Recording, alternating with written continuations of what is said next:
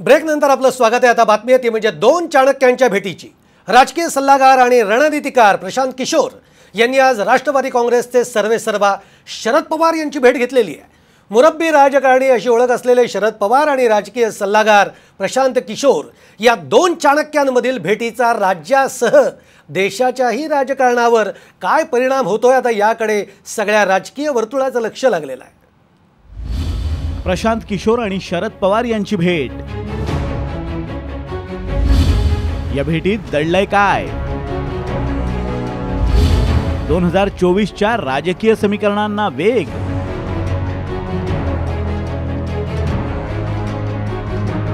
राष्ट्रवादी काँग्रेसचे अध्यक्ष शरद पवार आणि विविध राजकीय पक्ष तसंच नेत्यांना सत्ता सुंदरीला वश करण्याचा मंत्र देणारे राजकीय सल्लागार प्रशांत किशोर यांची भेट चर्चेला उधाण देणारी ठरली आहे पश्चिम बंगाल निवडणुकीत तृणमूल काँग्रेसच्या ऐतिहासिक विजयानंतर प्रशांत किशोर यांचं कौतुक झालं होतं.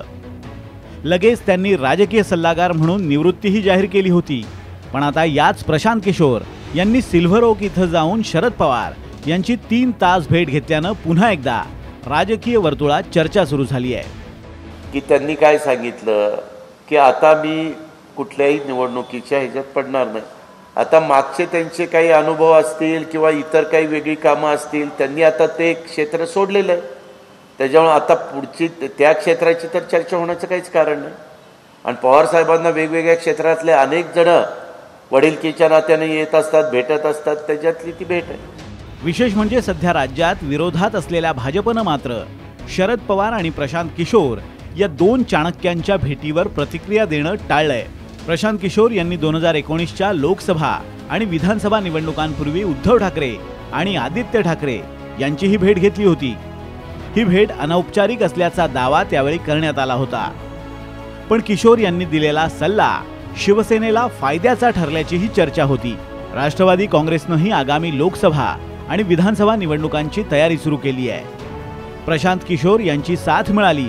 तर दोन हजार चोवीसच्या निवडणुकीत राष्ट्रवादीला फायदा होणार असं राजकीय विश्लेषकांचं म्हणणं आहे. मोदी आणि भाजप यांच्या विरोधात राष्ट्रीय स्तरावर काही एकत्रीकरण करावं का?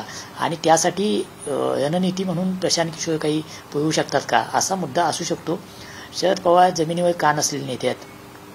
महाराष्ट्रातल्या आणि देशातल्या बदलत्या राजकीय प्रवाहांचं आकलन ज्या काही हाताच्या बोटावर मोजक्या नेत्यांना अतिशय उत्तमपणे होऊ शकतं त्यामध्ये शरद पवार आहेत. आणि प्रशांत किशोर यांनी सिद्ध केलेलं आहे की निवडणुकीची रणनीती त्यावेळेला कोणते मुद्दे उपस्थित करायचे कोणते झाकायचे कुठले उपक्रम घ्यायचे ज्याच्यातून एक प्रतिमा निर्मिती होऊ शकते आणि अजेंडा ठरू शकतो. युपीएच्या अध्यक्षपदी शरद पवार यांना अनेकांची पसंती असल्यामुळे त्याही बाबतीत प्रशांत किशोर यांच्याशी चर्चा झाली असल्याचं मतही अनेकांनी व्यक्त केलं आहे एकंदर शरद पवार आणि प्रशांत किशोर यांच्या भेटीला दोन हजार चोवीसचा राजकीय संदर्भ आहे. एवढं मात्र नक्की.